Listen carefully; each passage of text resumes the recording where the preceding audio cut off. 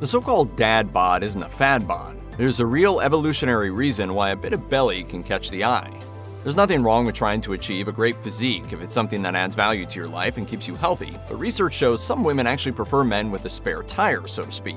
Dad bods have been a hot topic for years now. The New York Daily News reported in 2015 that a little extra around the middle won't necessarily lead to a flat out rejection by women. A 2021 survey of 2,000 singles conducted by Dating.com revealed dad bods to be the participants' primary choice. Nearly 75% of respondents said that they found them attractive. Hey, what's a uh, dad bod? Oh, if you aren't clear on what a dad bod is, Vox defines it as a nice balance between a beer gut and working out. It's based on the theory that once a man has found a mate and fathered a child, he no longer needs to stress over maintaining a sculpted physique. Jennifer Wolkin, a psychologist at the Joan H. Tisch Center for Women's Health at New York University's Langone Medical Center, told Women's Health magazine When women see a man with a dad bod, they think he's a family man, he's a nurturer, he's putting his family before himself.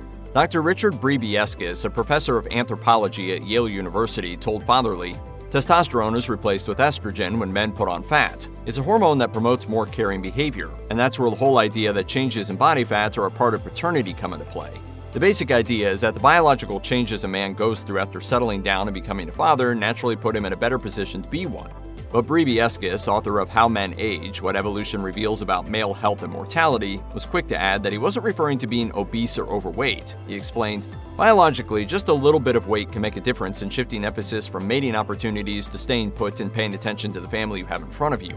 So, whether or not you find a dad bod attractive, Dr. Rebecca Bucianich, Associate Professor of Exercise and Sports Studies at St. Catherine University, stressed that perhaps the focus with any body type should be health and not weight, telling Inside Hook.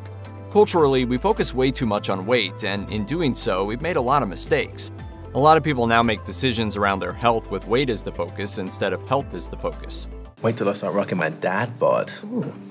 Motherhood, of course, has a more immediate impact on the body. While nothing can take away from that life changing journey, dads have become more of a distinct group thanks to the dad bod trend, according to a 2018 study of more than 1,100 participants published in the Journal of Experimental Social Psychology.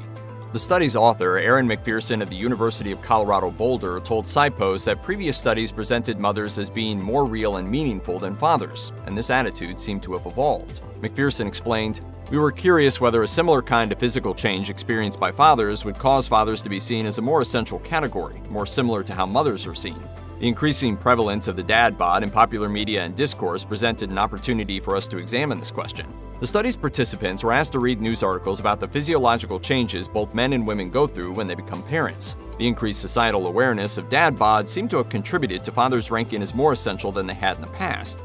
McPherson explained, when people learn about physiological changes that men experience when they become fathers, they see the entire category of fathers in more essentialist terms, more similarly to how they already see mothers. They see the category of fathers as more permanent, natural, and meaningful.